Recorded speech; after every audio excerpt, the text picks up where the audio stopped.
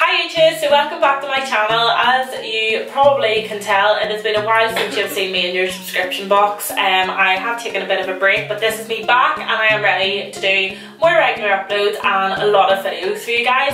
Um, as you can see, I'm not alone. Um, I am doing a video with the gorgeous... Hi everyone, my name is Aine Knocker and I also have a YouTube channel as well. Um, and me and Karyn just decided today why not do a collab? Yeah, it'd be good fun. There's not many YouTubers in Northern Ireland, so we thought this would be fun. Um, we are friends as well, which makes it even better. So we're getting doing a get ready with me, and um, we'll just kind of chat you throughout. And yeah, hopefully you like it. Mm -hmm. So if you want to see how we created these looks, then keep on watching. And also, don't forget to go over onto my channel as well. I think yeah. a bit about me and Karyn because we are doing like a wee Q&A video as yeah. well. Um, we asked everybody on Instagram and on Face, or sorry, and Snapchat, yeah. Snapchat, and we got a good amount of questions and we answered them all back. So if you want to find out some more personal stuff about us and a few bits about our makeup favourites, then definitely head over there. Subscribe as well, give the videos a like, and um, yeah, hopefully you enjoy. Okay, so I'm actually going to start with my base first, um, and I'm going to mix two different foundations together. So I'm mixing the Revlon Color Stay and the Maybelline 24 Hour Super Stay foundation and I'm mixing them together um, because I have no foundation on it or no fake tan on it at the minute so I'm actually quite pale. I'm just gonna start by doing my brows. So sometimes I don't actually draw my brows on um, just depending if I'm going for a real like dramatic look which is what I want to go for today. So I'm just going to use a brow pencil because I've been like going off pomades now so I'm just using this Baked by MAC.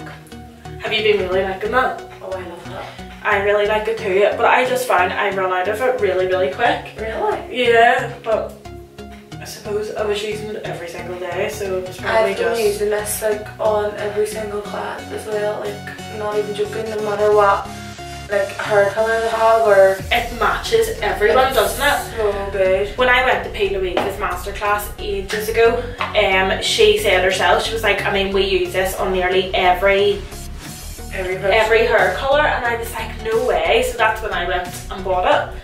And I absolutely agree like it, it suits everyone doesn't it? Yeah I think what do you call it?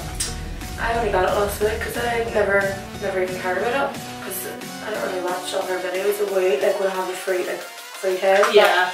um, and when I went down to the palette launch in Dublin, it was literally like that's all I spoke about. I was like, I'm actually gonna go back and see what it is good. It's like, but it's it's amazing. It's not one of those ones you ever get when you have like a brown pencil and it snaps every single time yeah. I know, I noticed it actually doesn't. Oh, I hate that. I hate it. Because that's what I was saying earlier. Like, I got the the balm they have new brow pencils coming out. I'm not sure if they're out yet, but if not, they'll be out in the next week. And um, I find theirs really, really like, similar to that. Like they don't really? break, they're very creamy.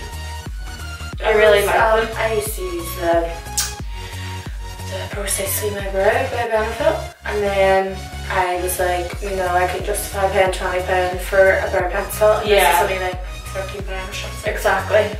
So I must try and want to move on because I love all their like products. You would literally love their brow products and they're so good.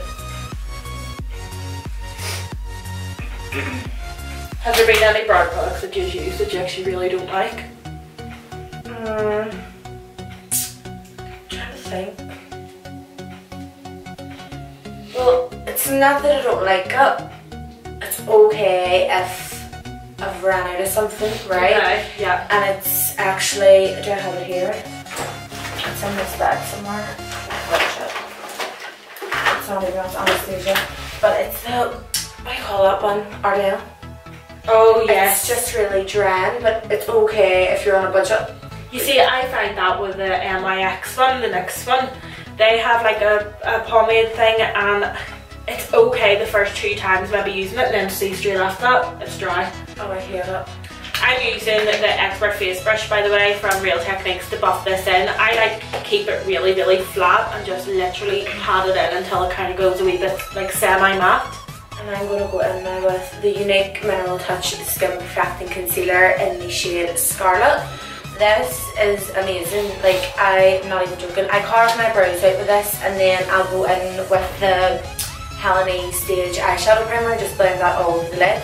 But I was so like skeptical about that Younique brand before because so many of them contact you and Because just, of stories, isn't it? you just hear so much bad things and I suppose you can't really be like, mm, do you know what I mean? But I was really skeptical and then I have found a girl and her name's Violet Blaze and she's a Younique presenter and she is so lovely and she's so informative and she does a lot of tutorials as well like showing you how to work with the products and a lot of live videos as well. See, I think that's good. and like you don't get much of the presenters doing it and I was just like oh my god that concealer looks unreal. So I purchased it and literally look at all I have like the tiniest wee drop goes a long way. So the reason why I'm doing my sort of eyes first because I am going to have a really dramatic look and or I am doing a really dramatic look. I'm using a lot of dark colours so I couldn't just justify doing my base first so Yeah. it'll be everywhere See, I think I'm gonna go for more like kind of bronze neutrally colours, but I'm gonna do a double liner. Um, so oh, it's good, isn't it? stunning So that's why I've decided that I can't go ahead and do my base first because I'm not going to be overly messy and I'm not going to be using very dark colours, so I can just be a wee bit more careful. Right, so I'm gonna go in with the P. Louise palette. I'm gonna go into the shade Martini first. And I'm just using like a flat sort of eyeshadow brush. The only thing guys, um, this shade isn't really that pigmented. Um, you have to work really, really sort of hard with it like, to try and sort of build your sort of pigmentation up. It's just really, how do you call that when you like, harsh or chalky? Yeah, wee like, chalky. it's a wee bit chalky, but it is beautiful. Like when you do take your time and build it up, but it just wishes. It just takes more effort Yeah. to do than what you probably So don't do. be thinking, oh my god, like it's a set. Just keep building and building it up. So I have just put down that um, Helen A primer, and I'm actually just going to go over the top just because of a few creases. And then I'll blend that down. So I never ever snap my lid anymore after watching like some of the P. Like videos and tutorials, simply because um, when your base is damp on your eyes basically it comes out more the shadows come out more pigmented so you want to go in and pat the product down on the lid firstly um, because if you're going to go in straight away and start the blend you're going to move your sort of damp base all about it's just like horrible. So you just want to pat it all on. All I've done is I used the um, Makeup Revolution con Conceal and Define underneath my eyes for my concealer and now I'm setting with the MAC Invisible I don't know what this one's called because it's you can only get it Set the set powder? you can only get it if you're a pro member um, which is the amazing. oh my god you need to try it see when you're doing setting your eyes like try it um so unfortunately you can only get it if you're a pro member, but you could use um, just any loose powder that you really like. And I've just set underneath my eyes, on my eyelids as well, because I get creasing quite badly. Um, basically, I have very oily skin, so I just really, I set with loose powder anywhere where I would get particularly oily during the day. I like to have a really, really matte base and then add the glow with highlighter. Are you the same? I'm the same I love a, a dewy look, but I cannot. I can't, I can't, like, see me, like, do you have the Slay All Day spray? And then Yeah, I I used this one, the Mario Badescu facial spray with cucumber. I Oh, it's so long. But I tried that the first bottle. time today and it smells unreal. It But see if so you good. have your base like completely put like set with powder, it does look a wee bit sort of cakey. But see if you go in with like a satin spray or And any it spray, melts. it just melts everything in place, and then you can go straight on your highlighter or put it on That's your what I always do. So I make my like my face has not one bit of dimension on it or one bit of shine because I have literally plastered, plastered my face down like this is it. So now I go in with the Gerard Cosmetics um, Slay All Day. This one's the grapefruit one. All of my clients absolutely love the smell of this because it really is like you'll when you say like Oh my god, doesn't that smell amazing? So Okay. I do that to kind of melt the powders into my face and then go in with like your contour, your highlighter, your bronzer, whatever, um, to bring back the kind of dimensions of your face. And I'm using MAC Harmony um, contour just with the Morphe M402 brush. And It is like my favourite shade at the minute. I can't get away from it. Isn't it so nice? I have pan on it. I've definitely had pan on it, but I love it. I love it. It's actually a flipping blush.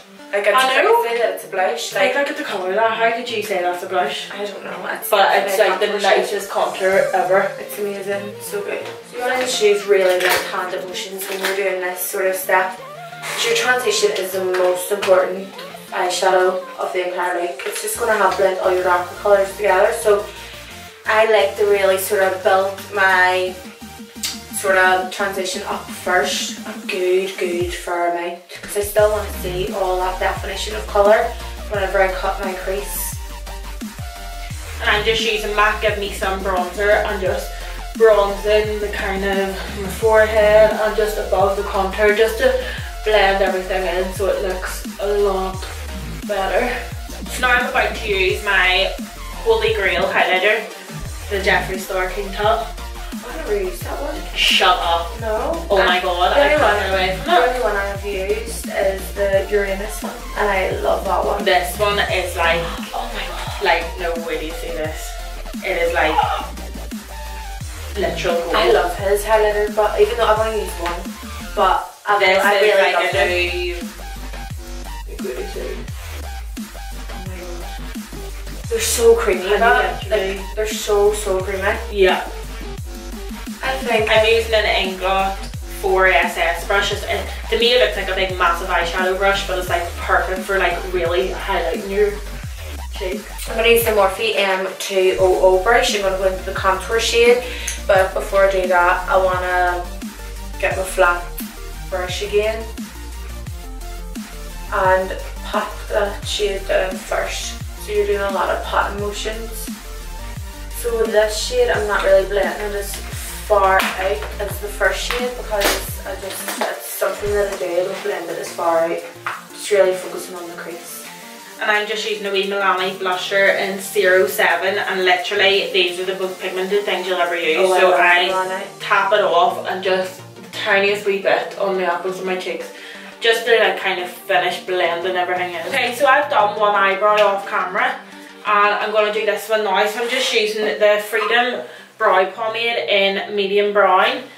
Oh, Cross my legs, sorry. In medium brown and using the NYX brow pen or brow brush. So I'm just using the shade Bestie now and I'm just patting it on again and then I'll start to blend it out using the previous shade we went in with which is obviously contour. I'm just going to keep it nice and smoky today and then I'll deepen it up underneath the eye um, because I'm actually going off cut creases. I'm going to take a wee bit off the Mario Badescu spray and just like a wee sort of um, bullet brush and I'm taking the Lindsay Douglas pigment. Now these don't have any shade names like at all on them, but it's just a white pigment. Um, and I think it's actually called Ice Ice Baby, but I'm not too sure. Correct me if I'm wrong. I'm just gonna put this in the inner corners of my eye. I'm gonna sort of bring it a wee bit up onto the lid. Usually when I do like a really dark look, um, I would go in with the Geo Glue that has like the pink written, like other than the one with the blue, because it does um, dry down black. Oh, it's the dark one, yes. Yeah, um, but the only thing I don't like, I love a good strong glue that your lashes stay on like all night and don't come off, but see with that black one, oh my god, like see trying to get your lashes off. It doesn't really stick. It actually pulled some of my eyelashes out before and oh it was terrible. It was You see, I use the Revlon lash glue. Is it good? Oh my god, it is amazing. And it's on a wee applicator, so it's really, Oh, really clean and like easy to use. Like look at that, like that's all we're going I to know. go to waste. It's such a waste, isn't it? Whereas what do you see, this is this is a Revlon one. And That's it's not really dear either, isn't it? no, and it's on a wee. So I'm just using MAC nylon for my brow bone highlight, just for a really like intense highlight. Okay, so I'm going to go in with my wee Anastasia quad and I'm going to use the colour burnt orange at the top. And just on a big fluffy brush and I'm going to put this through my crease. Okay, so that's it on the top and I'm just gonna do it on the bottom um, lash line as well.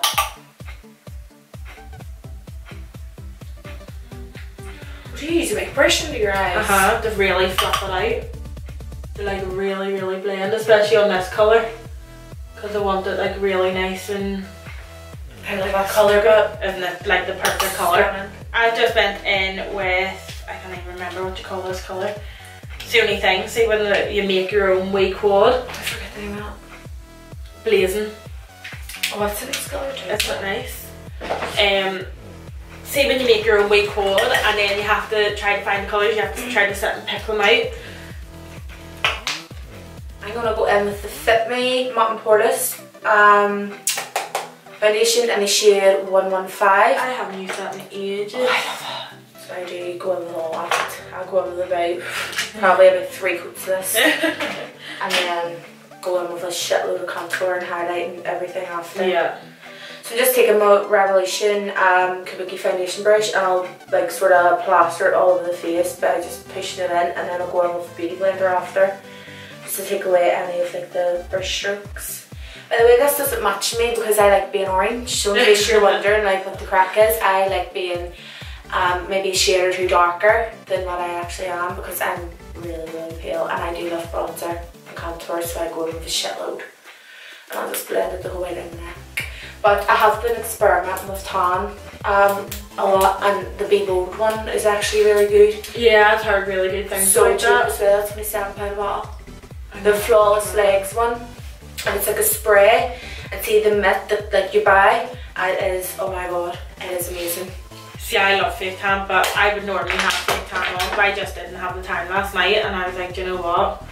I'm going pale today. Okay, so I just blended that uh, above and below my eyes again, and just went really, really nice and smoky with it. Just really, this is quite a soft look when it comes to like the actual eye look, and then obviously we're gonna go a wee bit more dramatic with the liner. And I have already done this eye, um, including the lashes. So I've done my black wing liner, then a rose gold wing liner, and then my lashes. So I'm going to do that on this side now and kind of show you how I've done it, and then obviously finish the rest. So I'm just getting my the Bourjois Ultra Black. Flip, I don't even know how to pronounce it. Pencil. Liner, Yeah, the black liner black liner. It's just like a wee pen one. And I'm gonna do a wing. Bear with me because wings are not easy to do, especially when you're on camera.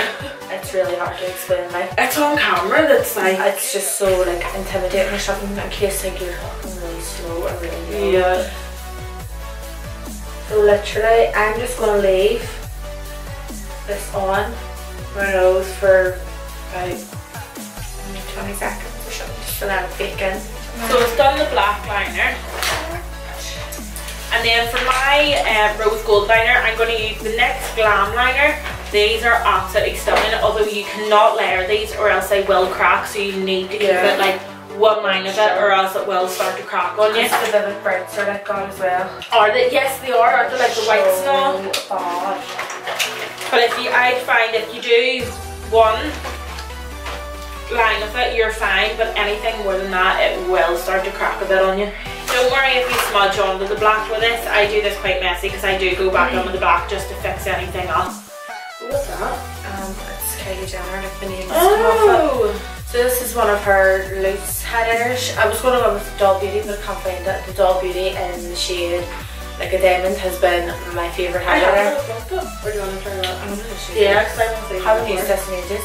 So because my face is like still a wee tiny bit damp, and because this is a loose highlighter, it's not a compact, you do need to be really careful with the placement of product or it just gets like messy.